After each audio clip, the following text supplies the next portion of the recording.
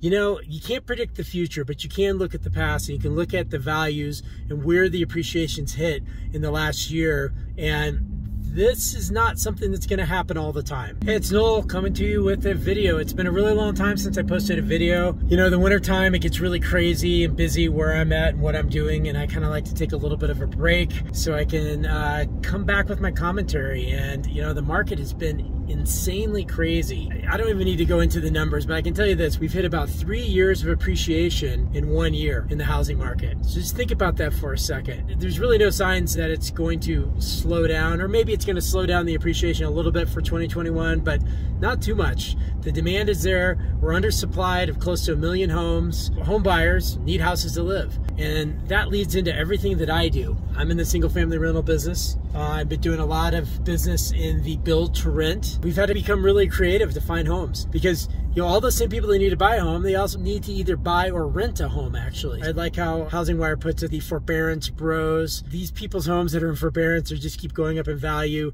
I think there's a good chance they'll be able to come out of it. Of course, there's going to be some foreclosures. There always is, but a lot of these homes even get sold before they even get to being an REO. So to think that there's going to be a lot of homes on the market because of foreclosures foreclosures is kind of a moot point. Uh, the fact is people still need homes to buy, to live in, to rent. You have a lot of sellers that have been on the sidelines waiting to see if they want to sell. And we've had a lot of portfolio holders come to us and say, is this the right time to sell? You know, you can't predict the future, but you can look at the past and you can look at the values and where the appreciations hit in the last year and this is not something that's going to happen all the time. We're not going to see double digit appreciation every year, and it's rare we ever see that anyways, and sometimes it's within a few markets. But this is a rare phenomenon that's happened in the last year. So should you sell? I don't know. You're not going to get this type of thing happen again. Will it go up some more? Yeah, possibly. Will we hit a leveling off at some point? Yeah, I think so pretty soon.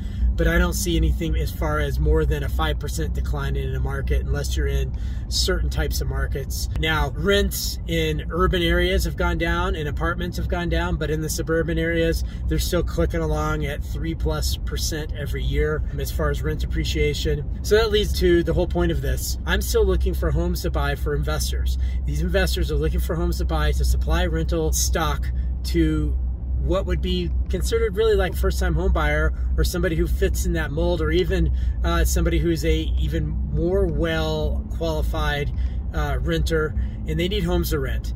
And we've gotten super creative in how we're doing this. Whether it's a builder, whether they're large or small, really mostly medium to small size builders, we're going in and offering them more equity into their deals. Maybe something like a fee build, but a little bit different because even opportunities to let the builder stay in the deal afterwards and have some equity in the build to rent developments or scattered site new construction homes. Providing debt, providing equity, coming into the deal on the land development side. Anything you can think of that a builder might need as far as capital of any kind, that's where we're coming in and that's where my clients are coming into these deals and paying a very good price, paying very competitive numbers where you're not getting even that much of a discount to retail. And that discount is even uh, null and void because of the velocity, how quickly they turn their money, not having to do all the marketing, reduce commission, building a more of a cookie cutter home. So all those things play into this. So that's what I've been doing. Uh, I've been really out there trying to beat the bushes to find homes for these investors to buy. So that's it. Let me know your thoughts.